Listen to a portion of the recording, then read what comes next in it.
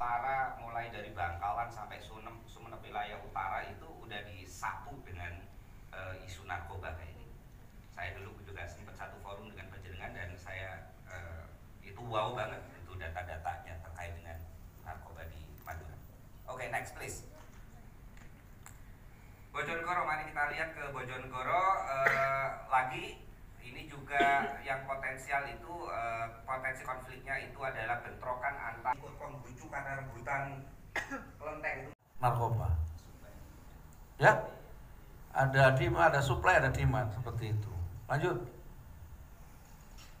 Nah ini modus, modus operandi ya bermacam-macam. Nah memang terus terang aja Madura ini memang menjadi salah satu uh, ya basis ya daripada narkoba. Kenapa? Karena memang ya eh, orang-orang orang-orang Madura itu kan banyak jadi TKI di Malaysia. Malaysia itu memang transitnya narkoba di sana. Ya, narkoba transitnya ada di sana. Jadi TKI-TKI ini terus selalu menyelundupkan narkoba. Ya.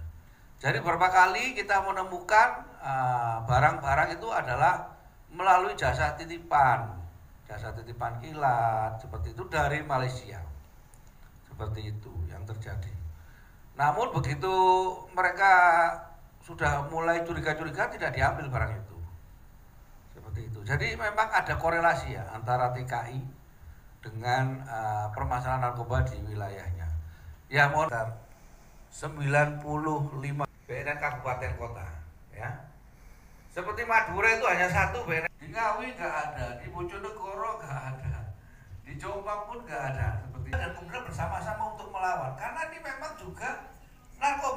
Lo sekarang jadi kurir narkoba saja, asal berani saja, itu nggak modal apa-apa dibayar.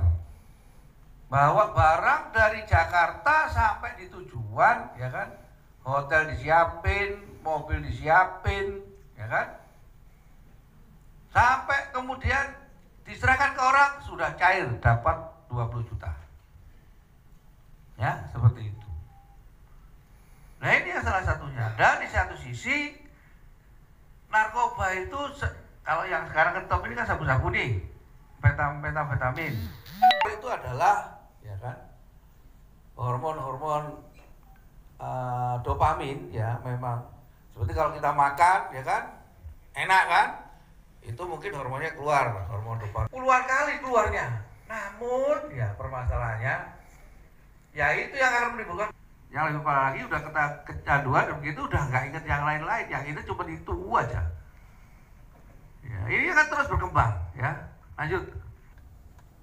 Nah ini rehabilitasi kita.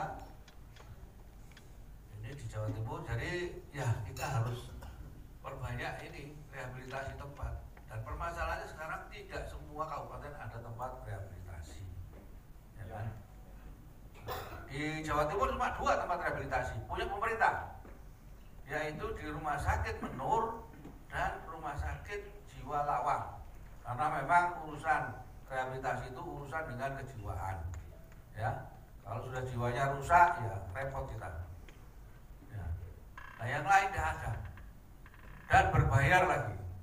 Nah seperti itu kecuali yang kaum miskin-miskin sekali baru itu dibebaskan dari bayaran seperti itu. Ya lanjut.